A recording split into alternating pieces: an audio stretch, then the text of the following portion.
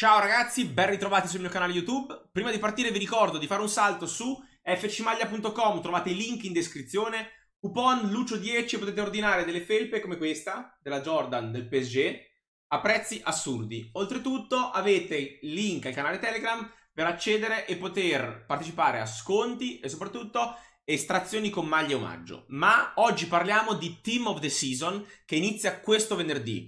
Tante le novità riguardanti la Weekend League, i premi e non solo. Prima cosa, la VL avrà inizio non più venerdì mattina, ma inizierà venerdì sera.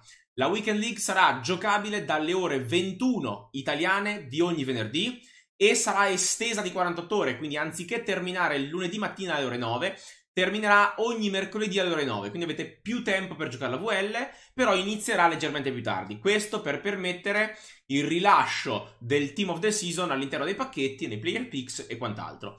Ovviamente vi ho anticipato, vi ho spoilerato che è confermato che i player picks saranno occupati dai TOTS e non più dai Team of the Week e aperta parentesi per quanto riguarda i Team of the Week è ufficiale che il Team of the Week 26, quello in uscita stasera e che sarà nei pacchetti per una settimana fino ai primi di maggio, sarà l'ultimo di questa stagione in FIFA 23. Quindi a partire da settimana prossima non avremo più nessuna squadra della settimana in foot. Avremo semplicemente le squadre della stagione ogni settimana due team. E questa è un'altra cosa importante. Il primo TOTS sarà quello community accompagnato da quello Eredivisi. Quindi potremo trovare i TOTS nei player picks all'interno appunto eh, della VL come premi come community e Eredivisie. Settimana prossima avremo quello Premier League, poi principale sarà Bundesliga, poi la Liga, poi campionato francese, la Serie A per ultimo e infine l'Ultimate TOTS. La Serie A, se non erro, è in foot a partire dal 2 di giugno. Per quanto riguarda i pacchetti 3 TOTV, che avete tenuto da parte fino ad oggi per sperare di farli trasformare in tre TOTS, e parlo dei pacchetti, quelli che ottenete con i premi della Weekend League, mi dispiace, ma nessun pacchetto 3 TOTV si trasformerà in tre TOTS, quindi potete aprirlo quando preferite.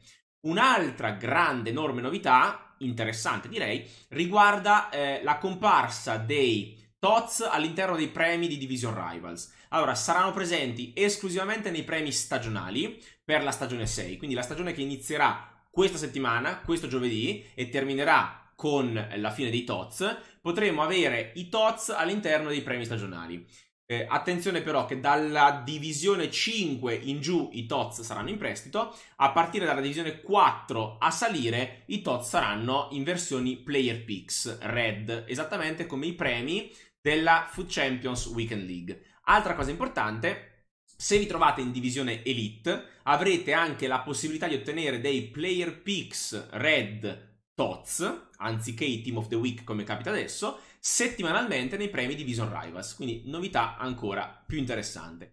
Ma se giocate le squad battles, se giocate offline, avrete la possibilità di ottenere anche carte del Team of the Season ottenendo un rank, quindi un livello argento o superiore. Non si sa ancora nel dettaglio la tipologia di premi che avremo all'interno delle squad battles, ma le sapremo di più questa domenica, perché questa domenica qua, il 30 aprile, è la prima domenica con i premi aggiornati, sia per quanto riguarda la eh, Weekend League, sia per quanto riguarda le Rivals, sia per quanto riguarda le squad battles. Fammi sapere nei commenti cosa ne pensi di questo TOTS, se queste prime novità ti sembrano più interessanti, se giocherai la VL, le squad battles, rivals, qualsiasi cosa. E ci vediamo qua per il prossimo video perché ho pronto per voi un video dedicato alla compravendita in vista dei TOTS.